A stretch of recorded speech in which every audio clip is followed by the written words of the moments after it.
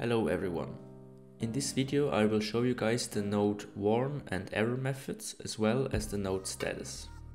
Those methods are very useful in debugging your function and showing you what is happening in the node. Let's start with warn and error. Since those are function node methods, we need a function node to implement them. To display a warning from our function node in the debug tab, we simply call the warn method of our node and give it a text.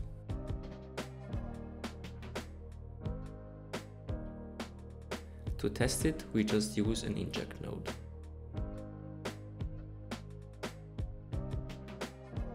As you see, we get a message in our debug window.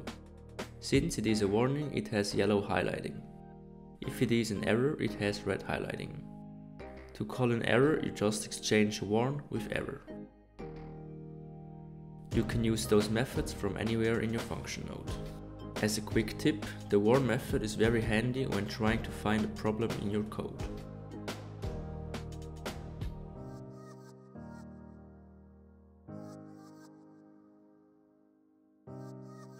In the next video we will learn how to catch an error from a function using the catch node, just as we did in last week's video with the TCP node.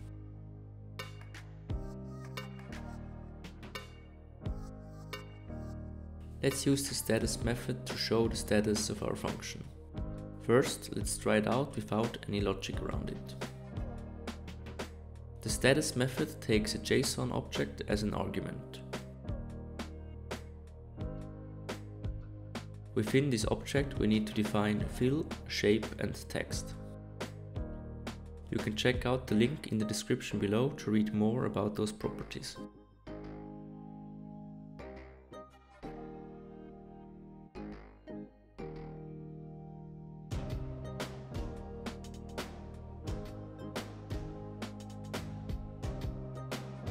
Now let's add some logic to show a different status depending on the msg.topic value.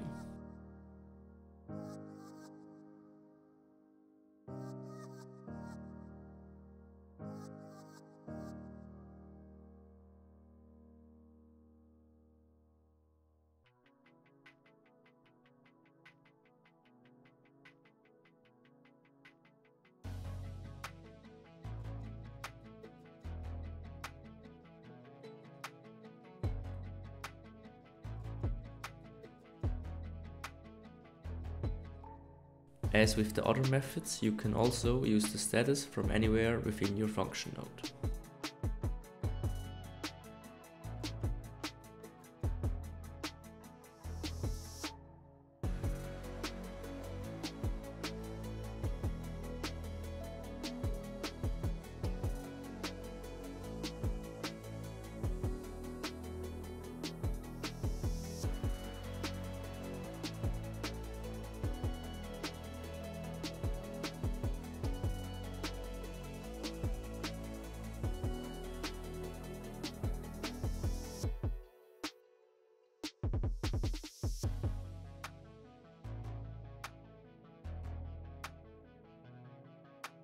The last feature to implement is clearing the status.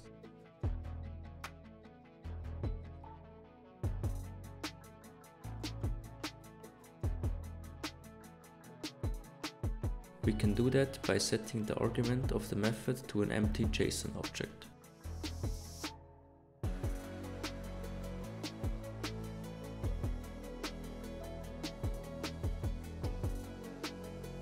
That's it for this week's video. I hope you enjoyed it and you could learn something.